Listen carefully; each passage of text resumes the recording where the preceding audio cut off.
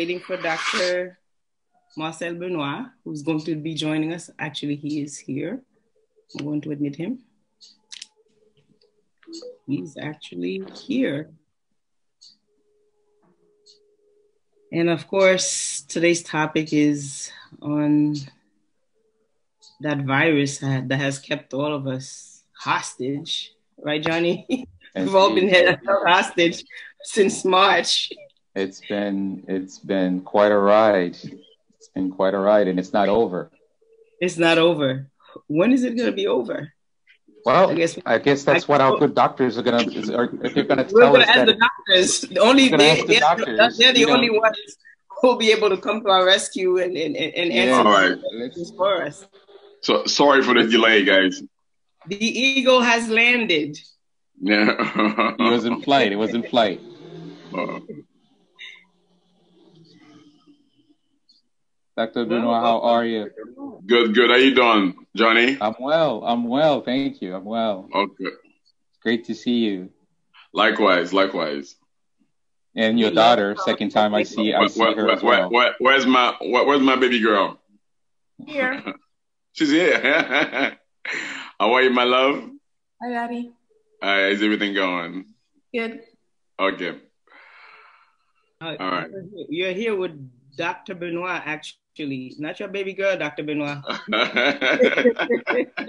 I know it's hard for you to accept, but this is you, it. al- It almost sounds like a law firm, Benoit and Benoit. and now, and now, uh, she she she will she will always be my my my my, my, my baby girl, always. That's for sure. Uh, absolutely, absolutely. Yeah. Well, it's time for us to launch officially, Johnny. It's um, it's Sunday. Of course, we know it's it's it's it's time for the mojo. It's time for everybody to get their mojo on. We could not wait for this time, and of course, um, with um, everything that's been going on since March, we know if there's one person that has been on top of it all, that that has brought us the latest information day by day, hour by hour. It's been, and he's been very consistent about it. And he's here to bring us the latest today. But um, before we even get into that, we always do some mental health check. We always check on each other's state of mind. So, Johnny, how are you today?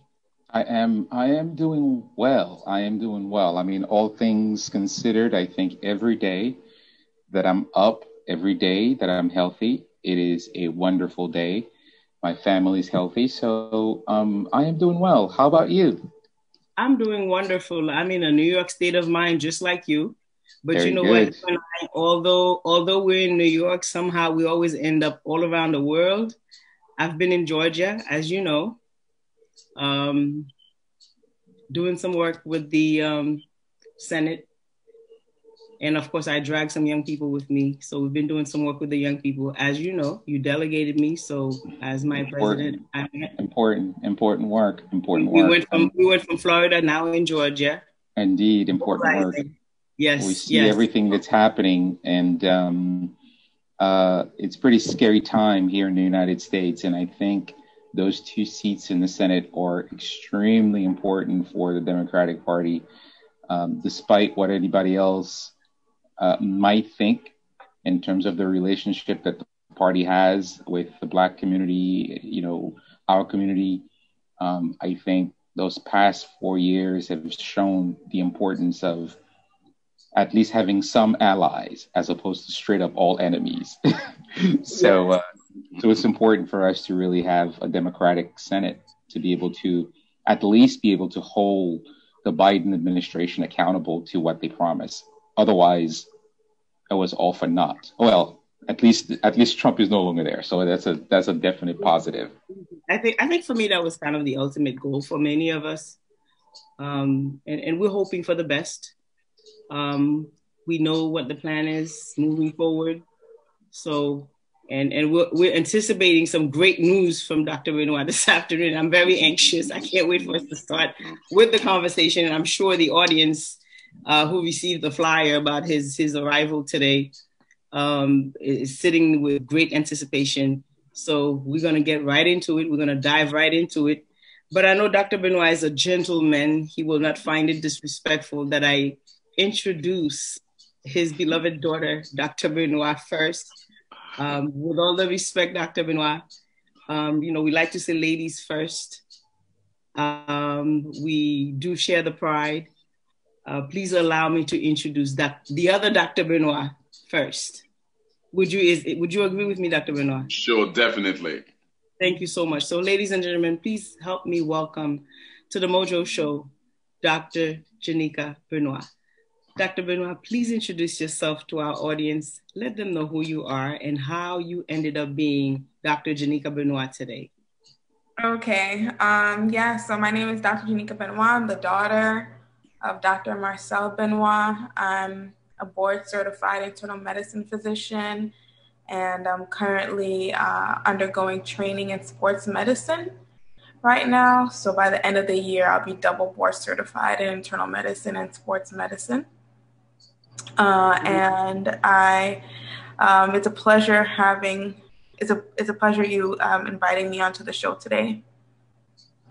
It's great to have you. I know you're trying to stay humble. You're not saying much, but for the sake of our young people watching the show today, mm-hmm. please tell us how the Haitian culture and your upbringing has contributed to the woman that you are today because I've known you for a number of years. Mm-hmm. And what I'm seeing today does not surprise me. It doesn't shock me. I mean, I'm very proud of it. And um, it was expected. But again, knowing the struggle that some of our Haitian brothers and sisters have gone through across the diaspora, uh, knowing the struggle of immigrants, right? Many people, when they hear of Haitians, back in the days, and if you were to say, "Oh, I'm Haitian," and and at your age, uh, your success would be a shock to some people. Mm-hmm. But who would you credit? Um, and and and I also want to want you to infiltrate the the concept of the culture into that. How has the Haitian culture shaped the woman that you are today? Um, yeah, definitely have to credit um, both of my parents. Um, my parents uh, you know, are both Haitian, and they were very strict with uh, my brother and I growing up, as most Haitian parents are. Um, although they were strict, I was also very strict on myself as well. So um, I was very into my books. I I had to always get an A plus, even though if I got an A minus, my dad would tell me it's okay. The A minus is okay but I always wanted the A plus. So um, I'm grateful of the parents that I had because even though I did not always like, let's say I did not get a hundred percent score on an exam, my dad always told me, my mom always told me that it's okay that you know you're doing your best because they always knew the type of person that I was. I always um, strive for excellence.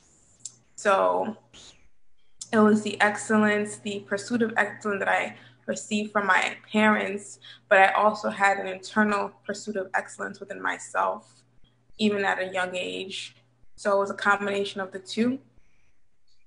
And then um, I remember, um, you know, as a young child, my father always um, brought me around him when he went to work. So I would see what it was like to be in the hospital.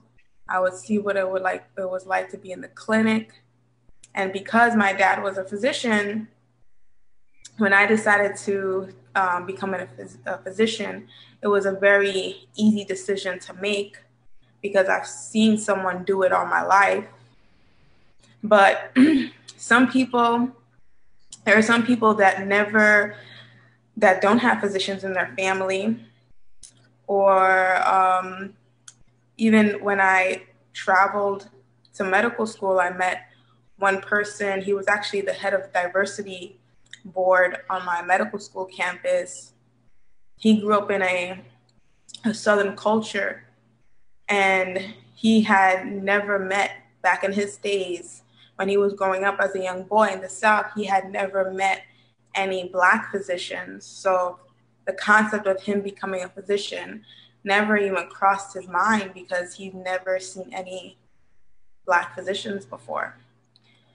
So, I mean, I was fortunate to see someone who I was very close to um, be a physician and a great one as dad. I see all the nurses who loved him in the hospitals and the clinics. Those are some of, you know, I've had many great memories a child, but I, I, I vividly remember those times being in the hospital with my dad and following him. And he was on the computer looking at labs and all this stuff. And he would always have us around. The nurses knew us by our names um, because we were always at work with, with dad um, we knew it, uh, it, was time to go to work with him, especially on the weekends. He would say, "Guys, we want to do rounds with Dad," and then he would go. You would say, "Yeah, yeah, yeah." We would be so excited to do rounds in the hospital with Dad. That was that became a um, a ritual, a tradition of doing rounds in the hospital with my dad. So that was a easy decision for me to make.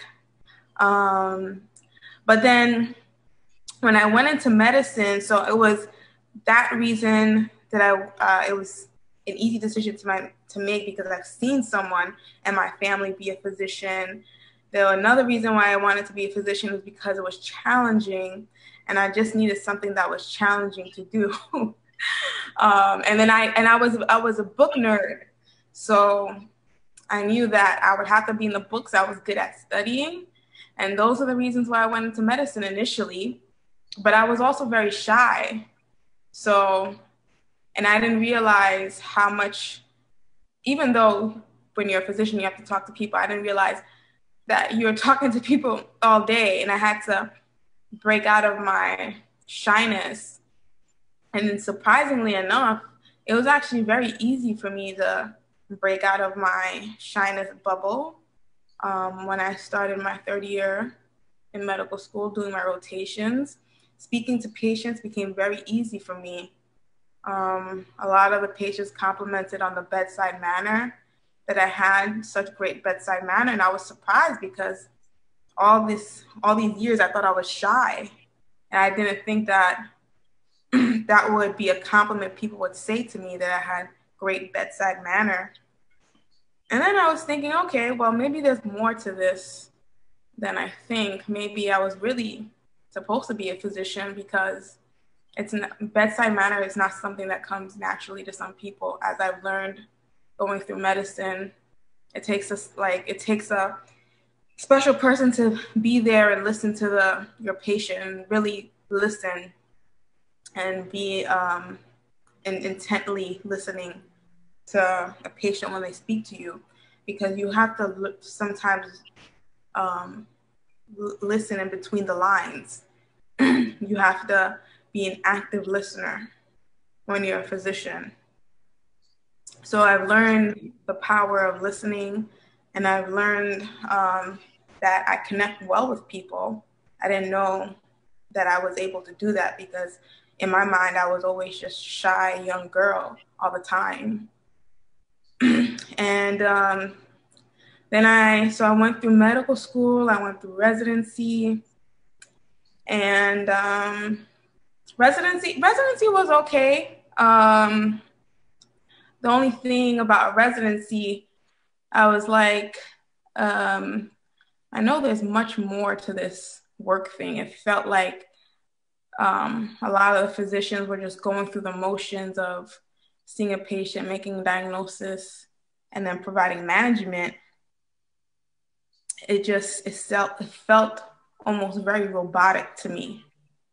Um, it it kind of there was a loss of like human touch um, to seeing patients, and even though it could be stressful, sometimes you don't have time to um, provide a human touch. But I think it's very necessary, especially in the population that I served it was a very underserved population in New York City. Um, so that's what I worked on in residency. I I wanted to leave residency not being a robot. Um, I've learned to continue to practice those active listening skills um, that I realized is actually a gift that I never knew that I had. I thought I was always shy, but I'm really able to connect well with people. and then after leaving residency, that's when I realized, well, I didn't go to medical school just because it was challenging and just because I wanted to, just because I was good at studying. I realized that I'm able to connect with people and um, people are able to relate to me. I'm able to relate to them. And that is a very important part of being a physician. Wonderful, wonderful, excellent. Um, I know Johnny's sitting there very anxious because he has some uh, serious questions. Not at all. Not at all. Love to ask that. Not at all. I mean, I think it is important. I think it is important. First of all, we have to go to Dr. to, to Dr. Benoit now. Don't get confused uh, today. But um, I, no, I think it's important for uh, people to know who is speaking with them and the space from which they come. Yes. Um, because I think um, uh, as Janika said, it is uh, the ability to relate to people that makes them listen. Absolutely. Right. Absolutely. Uh, knowing the, the, where someone's coming from makes you more attuned to listening to what they have to say and Very not deep. necessarily jumping into the conversation robotically, you know, starting Mm-hmm. to ask questions about medical issues without really taking the time for the kind of introduction that we're doing. So I think it's good. Let's keep, let's keep going. Yes, indeed. Yes, indeed. Janika, I'm very proud of you. And and you- we just went back memory lane as you were talking. Uh, I remember our conversation on on we were on a cruise together, and I was saying I was complimenting you about how pretty you are, that you should be a model, and and I remember you specifically told me that you were going to go to medical school, and that's what you want to do, and you convinced me that you were going to do that, and you did that indeed. So today you're a doctor. You know what? Kudos to you, and kudos to you, Dr. Benoit. So let's get into it, Johnny. Um, I'm gonna let you carry on, um, and and I'll, you know, we'll we'll take turn as we. Well, You know. well, we have to give Doc- Doc- Dr. Marcel Benoit an opportunity to tell us Yes, a little bit indeed. That's about why I'm, I'm, I'm in his letting you have practice. it. Yes. So, uh, Dr. Benoit, tell us a little bit about yourself. Well, Besides being the, the, the, the, the father, right? A proud dad. We can see that on your face. that's right? basically that's basically I was about to say. I'm the father of two um, um, beautiful children, uh, Janika and Jamal, and they make me uh, happy every day. Um, they, they, my, the, the, the, the the sacrifices that we made together, we made um, to bring them up, um, really paid off. Um, and hopefully they will continue on the path of success. So uh, I'm an internist. I'm an nephrologist. I've been practicing for close now to 25 years. I always been I've, I've been close to the community from day one. I've, I've given numerous um, uh, um, conferences, either to uh, to uh, or, or talks to the, community, or I give conferences to doctors uh, on hypertension, on the, on, on kidney diseases, and um and I'm always there to really to bridge the gap in terms of education. And I think that not only I'm a doctor, I'm an educator, and and as Janika speaks, or as she was spoken, I can feel the gene where she get all that from.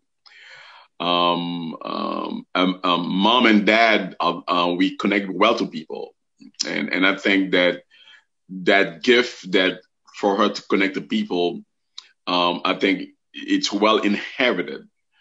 Uh, because you can see, and she she she lived it the way that I I usually embrace my patient, and the way my patient embraced me because they call me son rather than rather than doctors, and uh, so um, I can I can see the correlation um, of of that um, um, relate, relating to people uh, inheritance. and um, uh, from dad and also from from from mom. So um, that's about it. So I'm there and I'm I'm, I'm continuing to educating uh, on on the community. Wonderful, wonderful, wonderful. Let's start with maybe the basic question of so the topic today is really COVID 19 and more specifically uh, the vaccine. But before we get to the vaccine, um, uh, Dr. Dr. Benoit Benoit, can you give us a quick update on the to COVID 19, particularly in, in, in, New York City, but you can talk much more broadly in terms of where, where do we stand today? We, we, heard, we hear of a second wave. Is there a third? Is there a fifth? Um, where, where do we stand in terms of this, this affliction that our communities are facing? Okay, I, I, as far New York City is concerned, the number have risen uh, exponentially for the past couple of weeks. Uh, in terms of hospitalization, we are close to 10,000 people in, in, in hospital. In terms people in, uh, in, in ICU, I think we're about 500 people in ICU, no, 1,000 people in ICU. And in terms of patients who are intubated, we are about 500 patients intubated. And for the past months, in terms like in in July, August, September, the number of deaths were reported in the in the low teens, uh, like uh, nine, ten, and and recently, um, the last number we had, we had about um, 94 deaths. Um, the rate of, of a positivity, that means that um, people people who are tested were shown to be positive, uh, was kept under one percent, like one percent for three three months. Now it's about 6%. And one place in, in, in New York, primarily Suffolk County and Nassau County, they are really um, um, um, um, the, the, there are a big surge of the case, surge of COVID. Nassau, Nassau and Suffolk County on December 12, they reported 2,000 cases. 1,039 for Suffolk, and the rest was for Nassau. And the rate of positivity of Nassau is comparable to the state. So um, there is the second surge is here, and uh, and as a result of that, the governor has um, um, implemented uh, a lot of uh, restrictions. No restaurant should be open after 10 p.m. Uh, and recently he, he, he, suspended indoor dinings. So um, um, things are getting really, really, really um, um, pretty scary in New York. But I think there's a laissez-faire going in New York, um, especially in Brooklyn, Queens, and the Bronx. And I'm telling you, I do not want to go through that again. What I've gone in March, April, it, it was scary because at one point I thought that uh, uh, uh, um, I could have been uh, one of the victims and eventually succumb uh, because it was a scary time. So um, we have to buckle down seriously, and uh, and um, I think that most authorities have really emphasized to buckle down because things are going to get worse. Wow. Wow. Yeah. And, and so the, the the as you told us months ago when we had you on the first time to talk about this, um, follow the rules, right? Social distancing, wash your hands, wear your mask. Um, the very basic things, right? I mean, show that you not only care about you, you know, your fellow human beings, but that you also care about yourself. Mm. Um, more importantly, until we resolve this, and part of resolving it will have to do with the vaccine. The other part will have to do us continuing to do right by each other um, our economy is not is not going to pick up, which is the thing that most people care about. Mm-hmm. Um, and so, Janika, I don't know whether you were involved in any way at all in terms of seeing patients. What was your experience like during this COVID period uh, uh, as as a doctor? As a... Yes. Um, so I, was in um, internal medicine residency. I was in my last year internal medicine residency in a very busy New York City hospital during the time. So um, I was very much involved with COVID. Um, I remember, you know, in early March when we first had our we had our first COVID case and um, you know, all everyone was just you know very shocked because we we were hearing about COVID in the news, and then we had our very fo- first COVID case, and then by next week, um, it just doubled and it kept on doubling and doubling and doubling. Um, and it got to the point where I think at most we had like 50 ventilated patients in the whole hospital. And mind you, the ICU can only hold about 16 ventilated patients. Wow. So these ventilated patients, they were in the ICU. We had to um, take the PACU and create and put ventilated patients in there. Um, there were ventilated patients in the emergency room still because there were no rooms upstairs for them to go to. Um, there were ventilated patients in just the regular medical floors where, and on those floors, those nurses, they're not trained to take care of ventilated patients. So it was very, very, very um, chaotic during that time. Everybody was very overwhelmed. Um, uh, during the day, uh, multiple people would go into cardiac arrest, um, like maybe like five, six times in a day. Someone would go into a cardiac arrest, then we would have to go perform CPR. Um, sometimes they made it, uh, sometimes most times they did not. um, and then it, then it got to the point where we had to start triaging, um, you know, who we were going to perform um, uh, cardiac arrest on because if we have two cardiac arrests at the same time, it was just too much for um, us to handle, especially if they were older um, and we knew that the odds of them surviving the cardiac arrest were low. You know, we wow. would put more efforts on a younger person just because it got to that point. It got to that point. Um, so, and we've we almost also ran out of ventilators um, as well and oxygen tanks. And uh, you know, I would come into the ER. As soon as I come in, someone is doing um, having a cardiac arrest. I have to go in and jump in and perform CPR on the patient. Uh, so it was it was very very it was a busy time. It was a scary time. Um, it was a very overwhelming time. And the worst part it was you know calling the loved ones of the of the of the patient who passed away from COVID, and that was I had to have many phone calls like that. Yeah, mm-hmm. I know Mona Lisa has some questions, but before, I think there's something that you said that that you know how overwhelming it was, how much of it was happening, and I think for, for folks, and I just I'm saying it only because I know very often people who are not in the medical field, um, like me and Mona Lisa and others, sometimes we kind of think about you know the folks the doctors in ways because you know uh, we lost our loved ones and whatever it is and we were angry. And what people did not realize is that this was a new disease that affected multiple things. And i think doctors the medical field was learning right about all of the impact of this particular disease on the body as it was happening at the same time, they were getting many, many, many patients. And at the same time, they had to make choices about, like you said, some very difficult choices about who do you save, right? In a triage, mm-hmm. which I'm sure for every every doctor who swear an oath to save every life must be extremely difficult, right?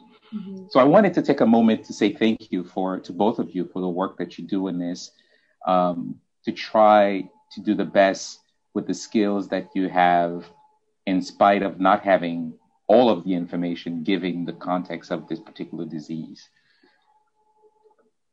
Yeah. Um, yeah. Mona Lisa? Yes. So, Janika, I'm thinking, Dr. Benoit, let me call you, allow me to call you Dr. Benoit too.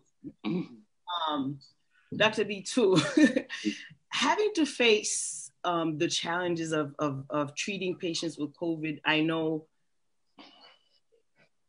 regardless of what your experience was, no matter the most experienced physician felt the challenges. So I could imagine for you, it was much greater. Yet you seem to have faced it with confidence.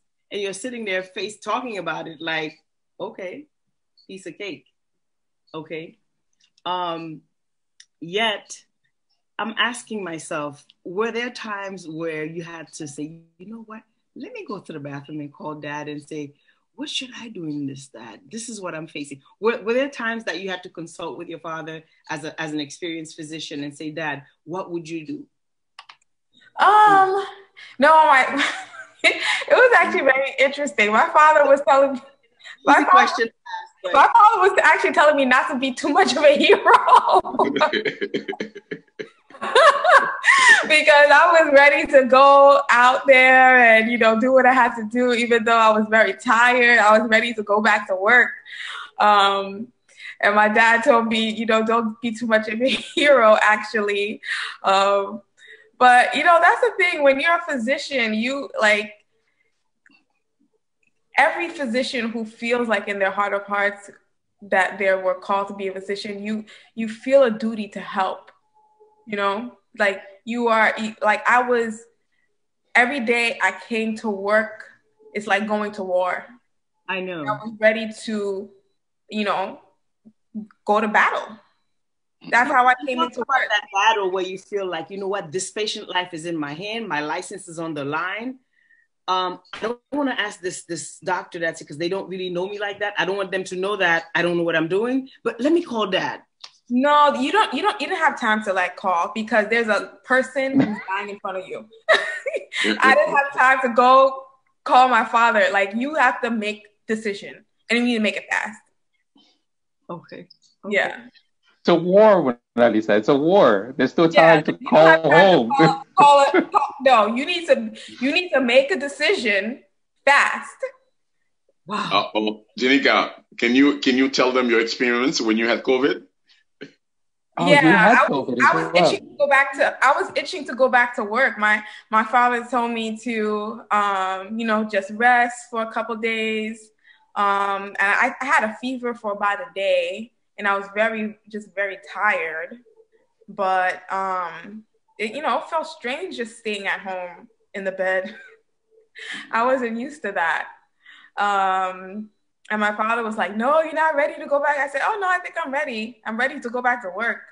Uh, yeah, because I knew, you know, because if there's, I was a person at home. So I'm like, okay, well, if I'm at home, that's only create, that's one less doctor to cover on the wait, floor. Mm. Wait, wait, wait, wait, wait, wait, wait. COVID is scary. Now mm-hmm. I understand you guys are educated. You know a lot about the about about this this virus. However, to be a physician and then to know now that you have COVID. I mean, I know I had a lot of physician friends that had it.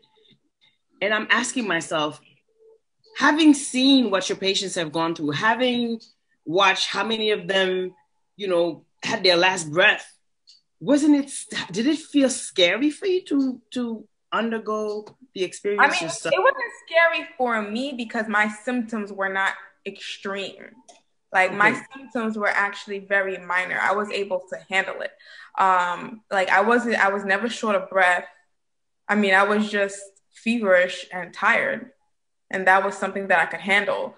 Um, but so that's the thing about the COVID. Not, not, not, not really. Not really. You can not really. What? Yes. not, not really. When you when you when you feel so bad, you call Daddy, I don't feel good, Daddy. Yeah.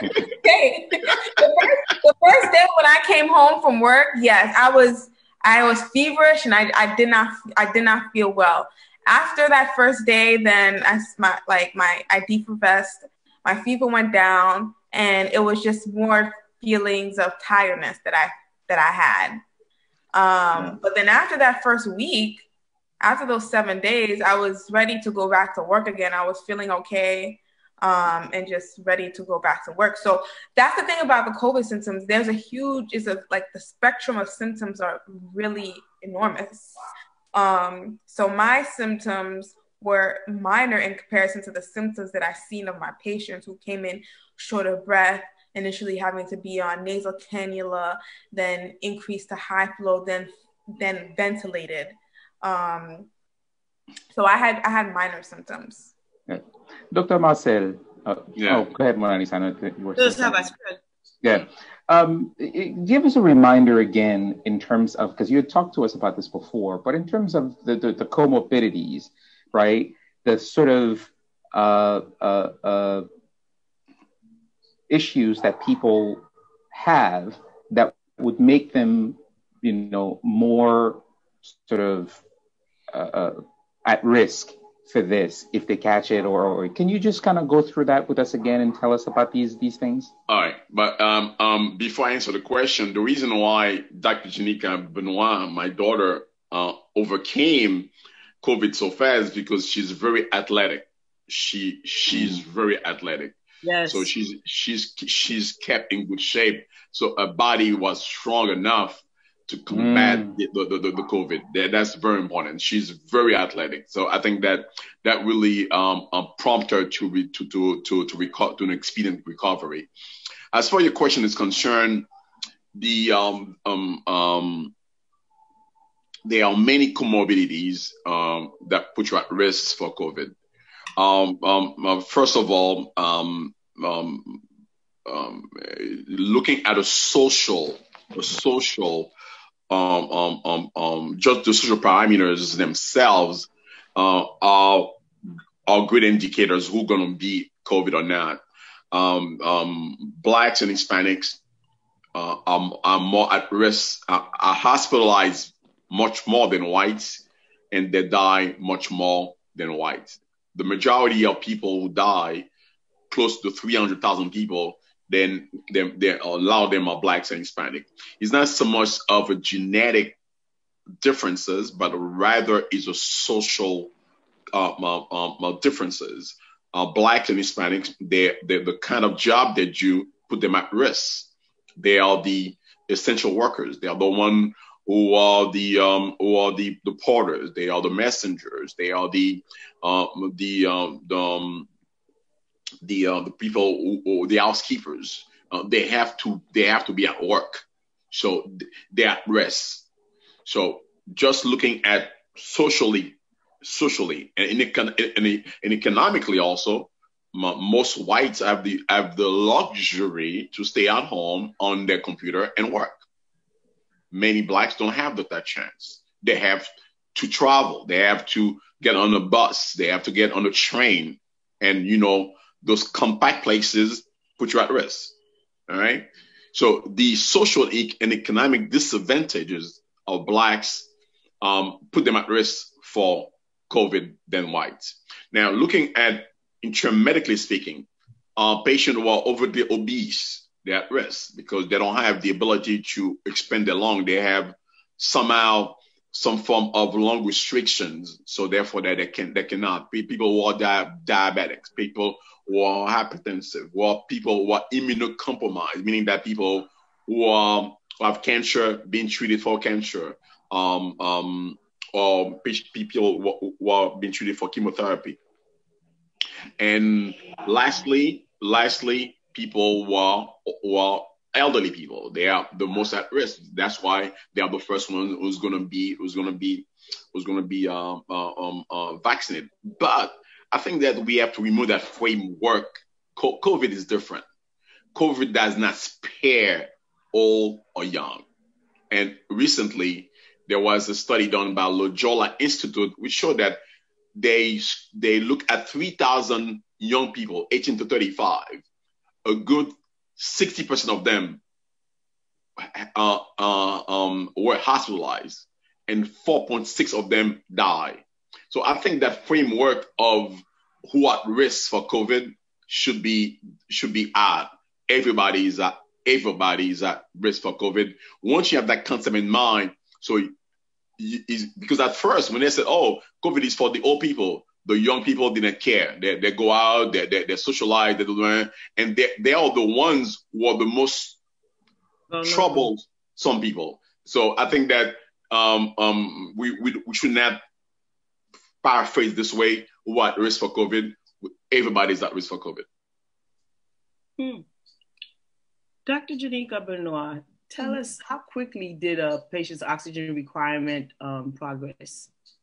Yeah, so um, so let's say I had an admission. Usually d- during the height of COVID, everybody was coming with COVID. Um, mostly everybody was diagnosed with COVID or suspected to be diagnosed with COVID. So we were treating them as such. Um, so it could be that the patient comes into the emergency room needing just simple nasal cannula um, at, you know, let's say two or three liters. Uh, and within maybe anywhere from a couple of hours to 24 hours, um, they could uh, progress to being mechanically ventilated. It was that quick. It was that quick. Um, and that happened a lot. There was um, very rapid turnover from needing simple nasal cannula, then progressed to high flow um, um, nasal cannula, which delivers more oxygen, um, then or oxymask, which also delivers a higher amount of oxygen. And then when that wouldn't suffice, we would have no choice but to put the patient underneath the mechanical ventilator. So it could be that one day they're fine, and then five hours later, they need more oxygen, and then that oxygen is not enough, and then we have to um, intubate them. So anywhere from like five to 24 hours, they can they rapidly progress. Okay. Now, so how do you determine um, whether those patients need to have an ABG or not? Um, so we usually um, do ABG if we're going to, especially if they're requiring high amounts of oxygen. Um, as soon as they come in and their um, respiratory system is compromised, we just do an ABG right then and there. Um, because sometimes when you check the oxygen level with a pulse ox, there there could be multiple confounding variables. For example, if they're cold, the saturation could appear lower than normal. The O2 saturation. yeah, the O2 saturation. So we always. This is to you, Mona Lisa. I was in nursing. I dropped out. Oh. so, in the emergency room for a while when I was in nursing. So, um, so anytime a patient will come in and they are hypoxic, we we get an, an ABG just you know just to check because we know that that level of oxygen is you know the level of oxygen that is present in the blood. So that is a number that we can we can trust, and you know, and then we'll check it again if we have to um, you know, put them on a higher level of oxygen. We'll check again just to see like how um, low the oxygen is getting. So we do check ABGs often just to ensure that uh, you know that the oxygen level is as low as we think it to be. Okay. Or we suspect it to be. Johnny? I, I I know that you, you probably have a lot more questions, Monalisa. Now that I know, I keep discovering new layers with you. I mean, you've you've you've studied everything, but um, you know, I wanted to. If you don't have anything else, Monalisa, I wanted to switch over to the core of the subject today. Yes. And Dr. Marcel Benoit, you you now, I mean, as all of us have heard, right? And you had talked about this before uh, uh, slightly in the last time the last time we had an interview with you on on COVID nineteen, um, but we now have uh, a vaccine. Apparently today, the first truck left for distribution, and big deal, right? Now, um, many people, many many people, particularly in the Black community, um, do not feel that for many, many reasons. Uh, there are good historical reasons, um, but there are also current reasons why they don't want to take this vaccine. Um, I'll say this for myself. I'll say that that I remember Dr. Fauci saying that in his experience, he had never seen a vaccine being ready any sooner than like four years. Right? Mm-hmm. Now, this vaccine less than, I don't know, six months I'm sure in terms of the number of people that they've done the, the test on, maybe hundreds of thousands. I don't know what the protocols are in terms of the number of people they need to test these vaccines on before they believe the CDC will give, you know, them authorizations to fast track it and give them authorizations to do it.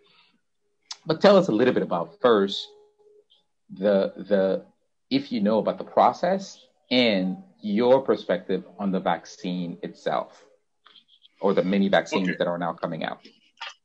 All right. So as you we all know that COVID has created a, a chaos around the world. A million of lives have been have, have been lost. Um, the economy of all major Western countries are in trouble, and and the science had no choice to be at the forefront to put a to, to put a halt to, to this pandemic. Uh, science has always been there. Um, if we go back to 1918, um, uh, uh, science has been there. Um, if you go back to uh, the polio, science has been there. Uh, if you b- go back to smallpox, science has been there, and so forth, and so on and so forth. So science has always been um, the pathway to normalcy. Now, there is a there are good reasons to be skeptical by the virus because of the speediness of the of, of, of this vaccine, but people don't understand that it, the um, science did not start to work on the vaccine a year ago. In 2002, there was a, a COVID one that um, that um, that um, uh, that caused many that caused many, many many many lives were lost in China.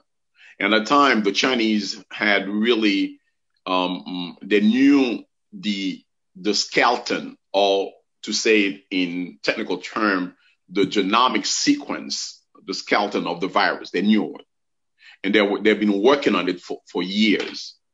So um, um, COVID COVID two has really created a speed in the science scientific world to bring up a vaccine. Now, and here we are today, we ask ourselves, is the beginning to the end of the of the pandemic? Um, the this vaccine is new. It has never been done that kind of um, the way the way the way it is it, it is produced has never been produced. They take a small sample out of the virus because the virus is a messenger is a is a is a is a is a, is a, messenger RNA like. There are many other viruses that are DNA like. This one is a messenger RNA like, and that that the role of the vaccine is to is to mount is to is to help you to mount a, a response when you face with a, a, um, with COVID. It's like you go into a battle, to a war, you get all your arsenal ready. When your enemy is, is there is there and you attack. That's the role of the vaccine. So Pfizer has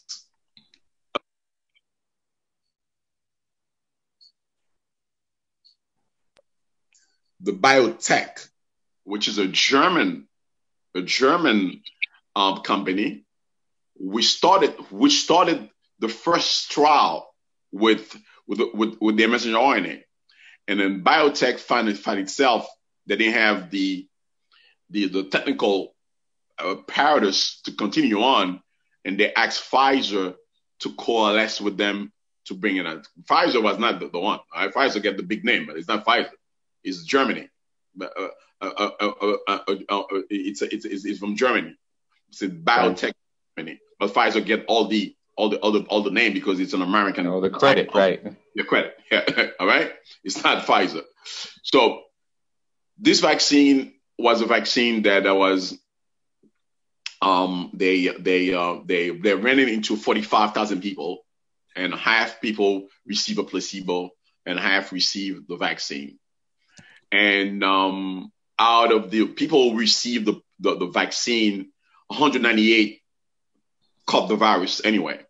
All right. But nobody were, were really sick. In the placebo group, 38 of them were really sick. And one died. One died.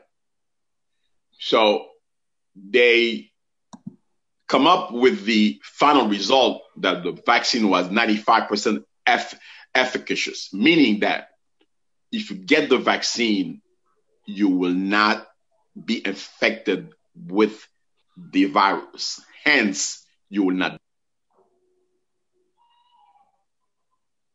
You're, you're muted. Message oh. when you're back, back to the vaccine. We are facing with an alarming number of deaths. That vaccine, the first, the first goal of the vaccine is to reduce the number of deaths. That's the key thing. So the vaccine is there, is efficacious. That, that, that's a sure thing. Now, the safety profile of the vaccine is, although it's reported in the data, 4.6 people had adverse effect, but we're going to see the real efficacy, the, the real safety profile of the vaccine with mass vaccination. Because we, they started in, in, in, in Great Britain, now, tomorrow, they're going to start in New York. We will see the safety profile of the vaccine during.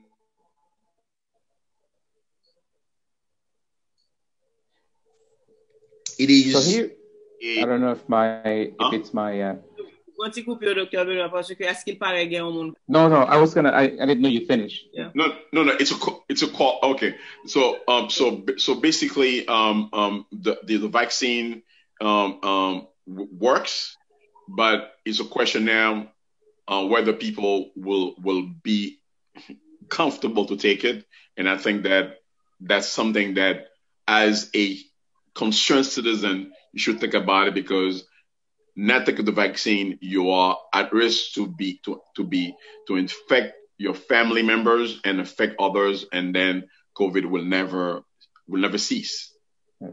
E, Johnny, alo si sa pa deranje nou, pou satisfaksyon publik kreolofon nou an, si nou te ka permet, Dr. Velan, sou te ka fe an ti recap sou sa ou sou di la an angle, euh, bon, ou sou di la an angle, sa di la kreol, pou publik kreolofon nan, alo sou reket, sou yo demande yon nan, e yon nan auditor ki ap gade nou aktuelman an Haiti, ki mwande sin te ka di an kreol pou yo, sil vouple, parce ki yo tan tande pale de vaksen, men ki sa nan pale la, e nan jounen. Ou konen pale palang la, li bin nou dezyen natyur.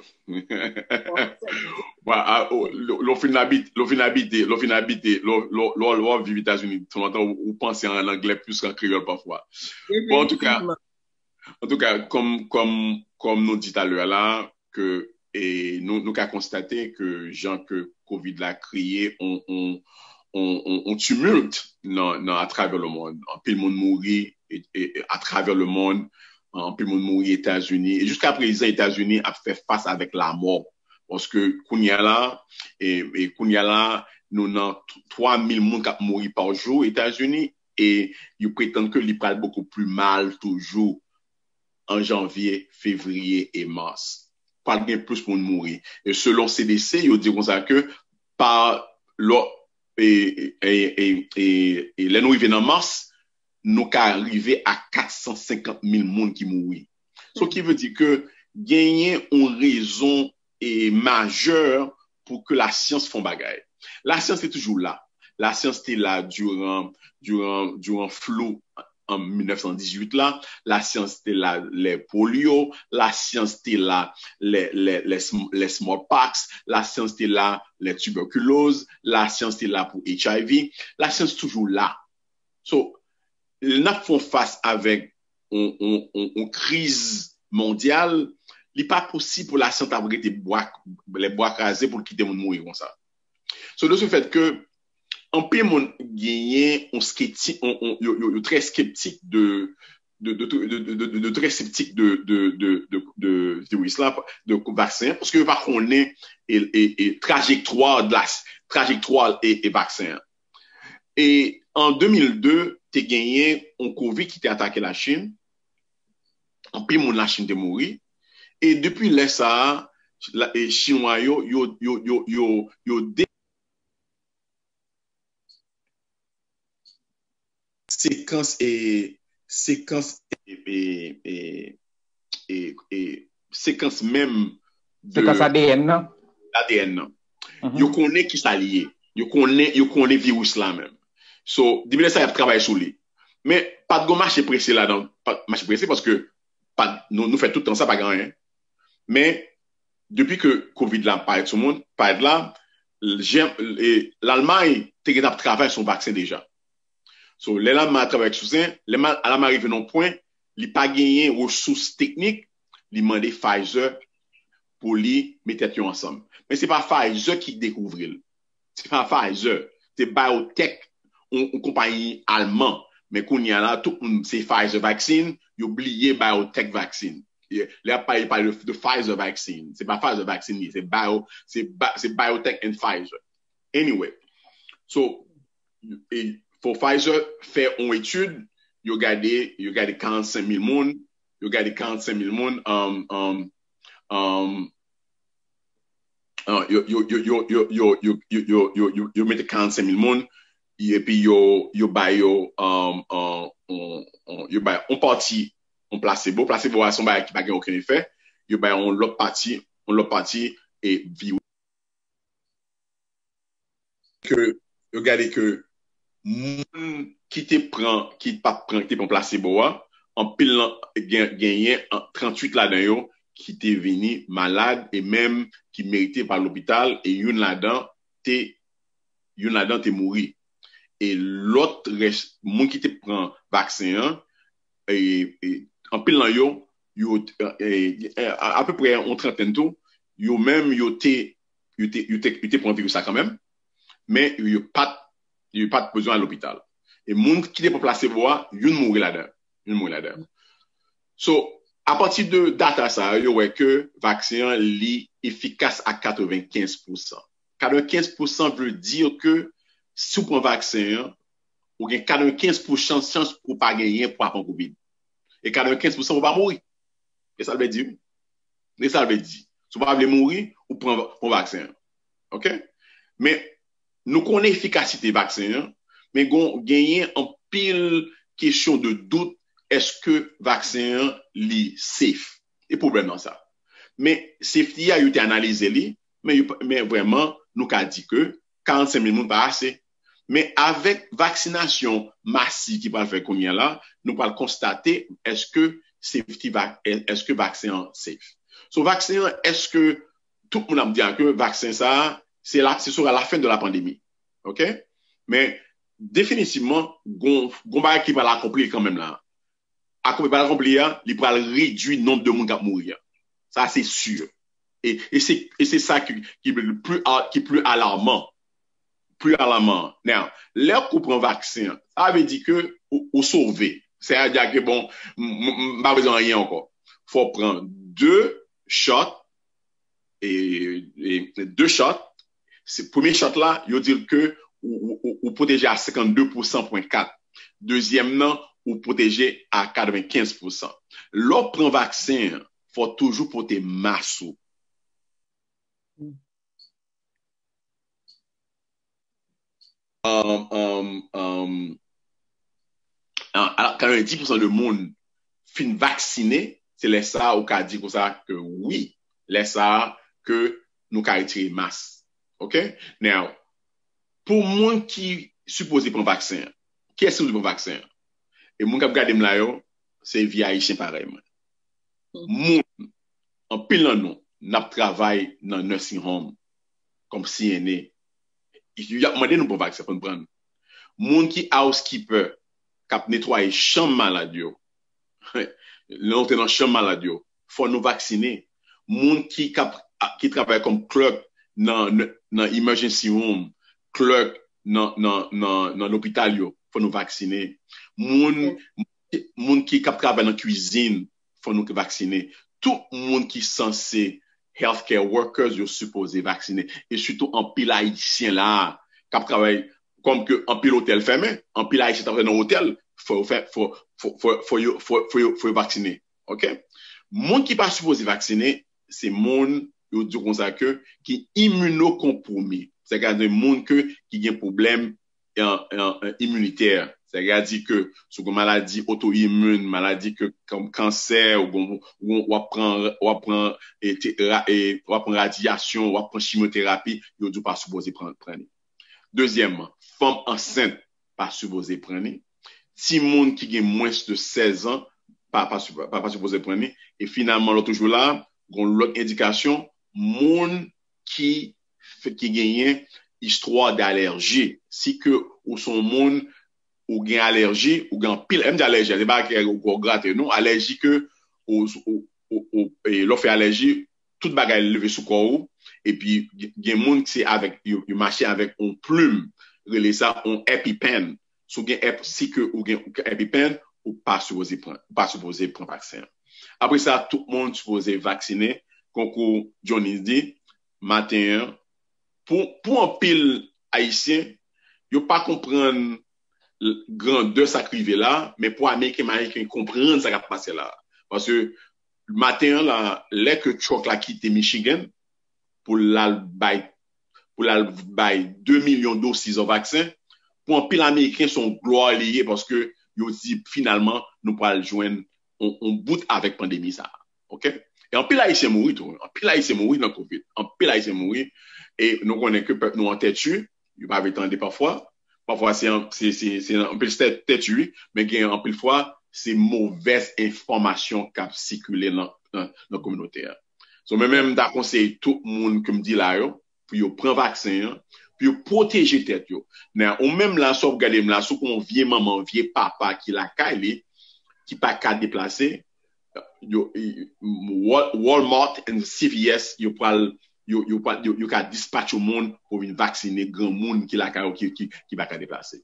Donk, son, son, son, son gro baye ki fet la, son gro e, e, e, e baye ki fet la, e nou espire ke finalman oujou, e pandemia la plase pa de etet nou pwase e, kriz la son kriz ki koze trop problem nan peyi ya, moun perdi job, moun perdi tout bagay, donk moun kweke li tan pou nou tounen a la normalite. Janika, let me ask you this, because it's, it's, it's, and it's almost the same question that I ask uh, uh, Dr. Marcel Benoit. Um, I mean, you know the history of the United States.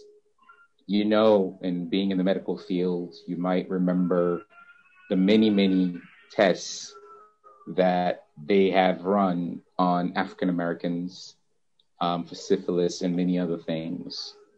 Um, Dr. Benoit mentioned, Marcel Benoit mentioned how we were, our community was the most at risk. And, and we know the reasons why we're the most at risk is that, you know, we are in low income uh, positions. We are in consumer facing positions, uh, you know, um, and we don't get paid well enough for those things, right? I mean, our community doesn't get paid well enough for the for the work that they do.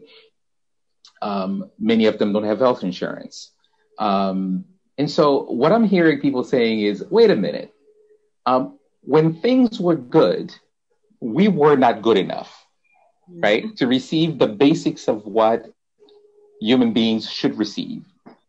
Why all of a sudden, Dr. Fauci is on TV bringing out a sister talking about how you black folks need to line up. And people were like, wait a minute, something in, you know, this this square is not round. So what is your what have you heard, right? Have you heard from maybe folks that are younger? Because this is from folks that are a bit older that I'm hearing this. But have you heard from folks that are younger that have that kind of mindset? Um, what do we say, right? As a physician, if, if I came to you and I gave, I, I told you these things as my concerns, um, what would you tell me? Yeah, I think the biggest part is just um, the education factor um, as a physician to just provide um, education about um, the new vaccination. So, and so, and also my um, my outlook on the vaccine is very impatient responses that I have is much different now than it used to be um, compared to when I was in residency. So the specialty that I'm in right now is in sports medicine.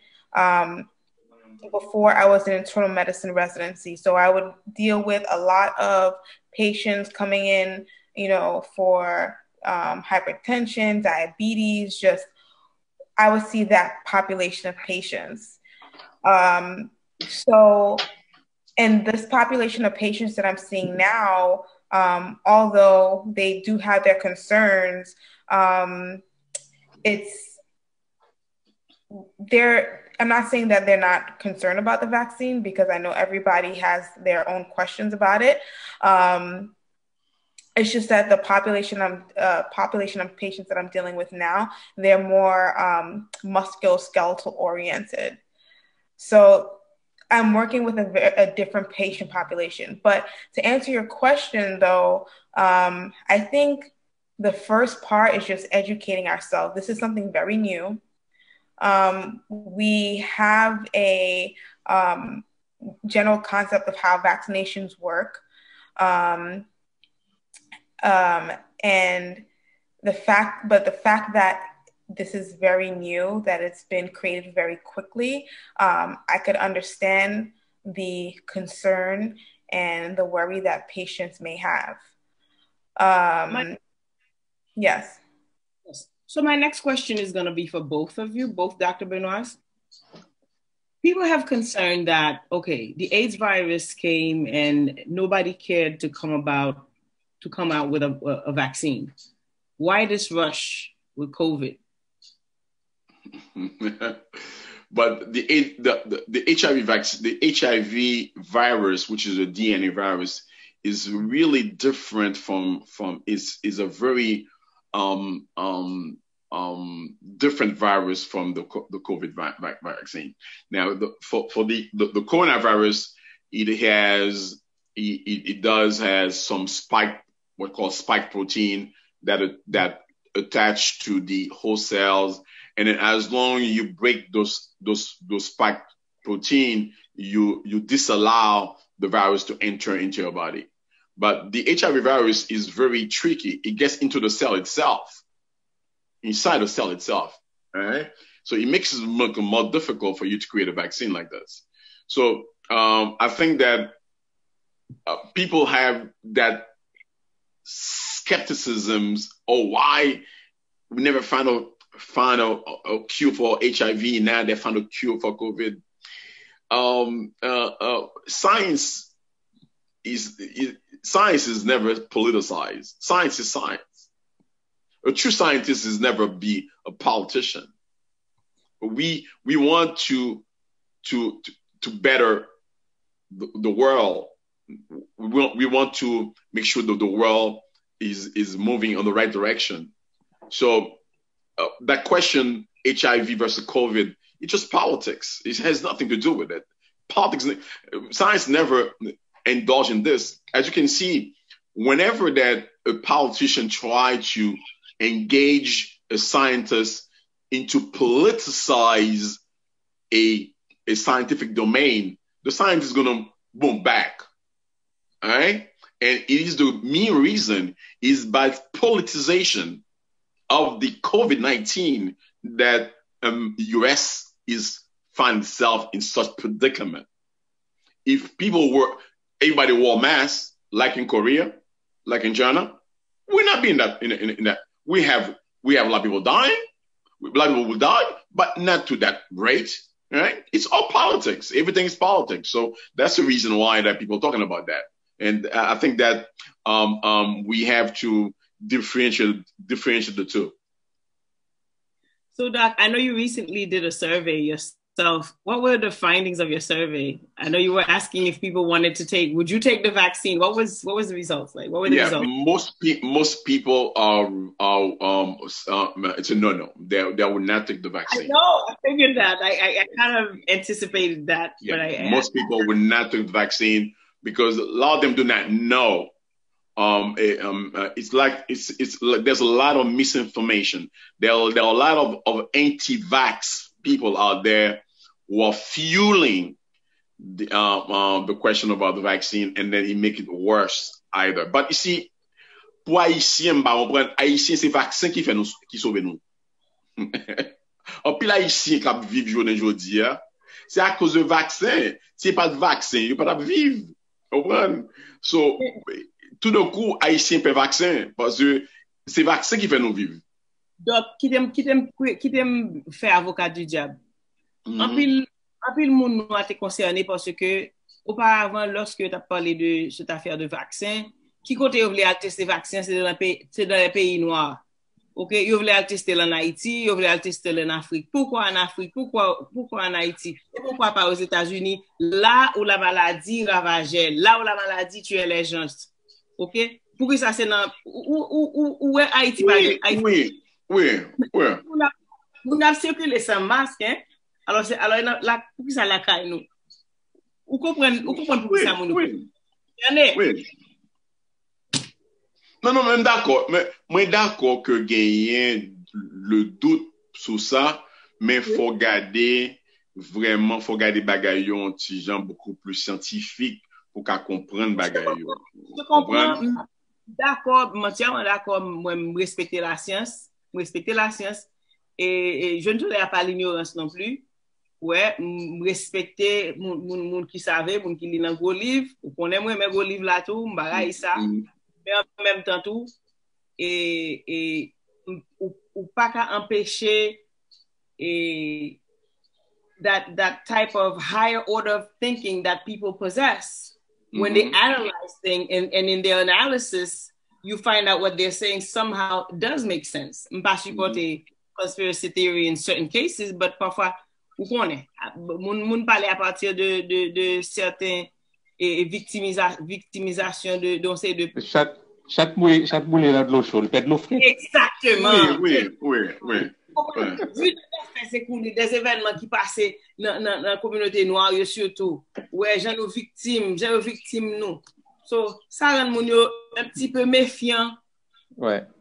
So I'll give you both uh, maybe an opportunity to really uh, maybe summarize for us in terms of the vaccination, the I'm not asking for, I guess, uh, uh, for you to make a medical recommendation, but it's your personal perspective about the vaccine um, as people are thinking about it, and maybe even where they should be go where they should go and do some research about this so that they can get more comfortable about this vaccine as we as we wrap up.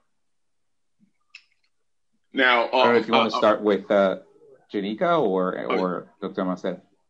Dr. Marcel, it's your call. You you call the Oh, shots. okay. All right. So, so, uh, so, First. Uh, Kiki, go ahead, Kiki. Let the senior doctor speak first. Now, uh, let, let me to show you the uh, the uh, how science wants to create a, a confidence in, in this vaccine. Yesterday, the FDA um, met for 17 hours, 17 hours to deliberate about the uh, the emergency use authorization of the vaccine. This is to create that confidence. I don't think um, those people sit down and lie to American people, right? Because they want to make sure that what they're looking at is correct. So that's one. And on Saturday, yesterday, the CDC, another major institution in the country, yes, uh, they're under the federal umbrella. That's true. But the scientists are not. The scientists are again, the advisory panel met again and they have deliberated and they granted the emergency unit. For, for, for my own sake, being a physician, being a scientist, I, I, I, I, I think that um, um, uh, I, I will give a green light for the vaccine because I think the vaccine is going to save lives. All right. Now, what is little bit perplexed in my mind and in many minds of many scientists, we don't know the various side effects of the vaccine. That's the question. But in my, but all of us are sure that the vaccine is going to save lives. And I think that's the bottom line. That's the bottom line. It's going to save lives. Dr. Yeah. Benoit, you know how much this community trusts you. You know how many followers you have. Yeah. We trust And, and, and, and frankly, I, I will take the vaccine. I, I will take the vaccine myself. Now, now, that you say that, you know that many people are going to be following Yeah. your footsteps. Yeah, I will take the vaccine myself because I look at the data. It, it looks, it looks, it looks, it looks good, and uh, and I think that the bottom line, people don't understand that the vaccine gonna save lives. That's the key thing. The that the vaccine gonna vaccin la empêche ou mourir. C'est premier bagay pour réaliser. An pil moun mouri, an pil moun mouri, se pou yon bagay pou nou metan tet nou. Vaksen ap empesyon malade e pou pou mouri. Ok? Now, ou ka, m ka kompren ou konsene vaksen ka bay sa li fek. E ap gen sa li fek. Ap gen. Ap gen detwa moun. Gen efè sekondèr.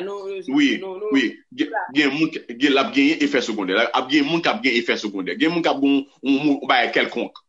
Men, at the end of the day, a la fin, a la fin, a, a, a la fin de la jounen, an pil nan nou, nap wè Christmas, nap wè Easter, nap wè Labor Day, nap wè le piti nan marye, nap wè tout, nap wè, nap wè jou fèt nou, nap wè tout bel bagay sa yo.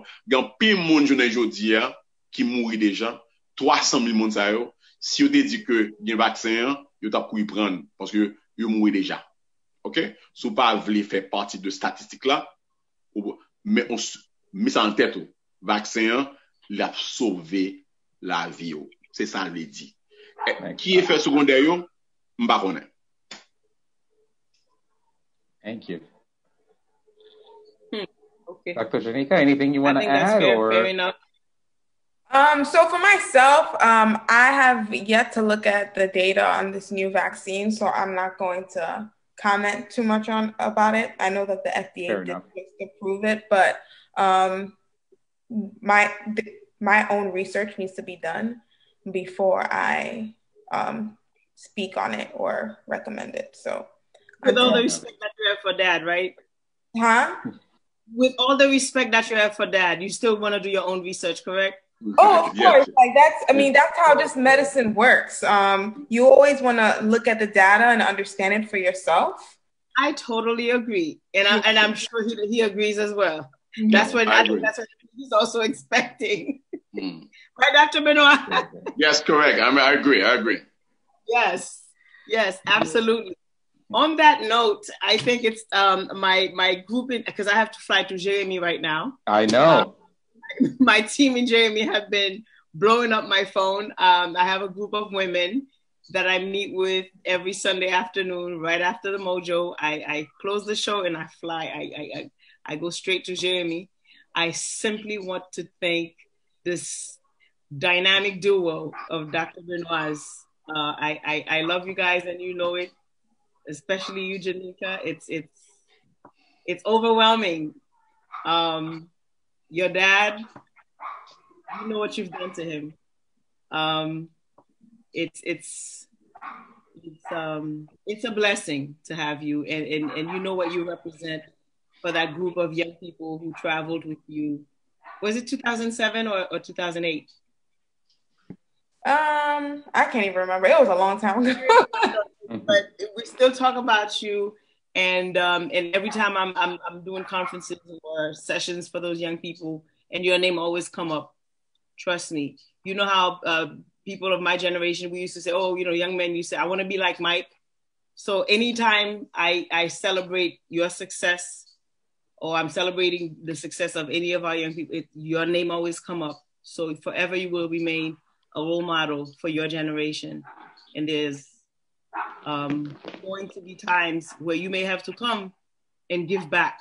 We can inspire. So we expect you to uplift, you know, the ones that come after you, so they can do, so they can be the next future uh, Janika Benoit, Dr. Janika Benoit. So it is with pride that I call you Dr. Janika Benoit. It was a, a pleasure to have you, Dr. Benoit. Thank you so much. You're welcome. Uh, I'm sorry the focus was not as much on you, but but more on Dr. no, no, it's okay. It's okay. It's okay. It's okay. It's so okay. behind the scene. You- You're in the spotlight all the time. I'm sorry. Yeah. Um, I have to hear about Dr. Janika today. But uh, to you, Johnny, it's always a pleasure. My partner, my partner in crime, my my co-host, my boss on on the campaign trail. Uh, all your orders. We hope to be together on Saturday uh, in Georgia uh, with the rest of the team. Um, Yes, Karen, I'm yes. going there. Karine Jean Pierre, most likely, we're hoping she's going to be there. The senators, so we'd love to have you Saturday. You know, with you know co-hosting the event. Absolutely, and yes. and we tell everyone if you're in Georgia, if you know people in Georgia, make sure they go out and vote because it is really important. The country depends on it. So um, that's all we're going to say. And yes. we'll see next week is going to be a very interesting show for all of us. Uh, stay tuned. Really join us next week. And as we always said, if it's Sunday, it is Le Mojo, and it's time to get your mojo on. And we say thank you and have a great evening. Thank you.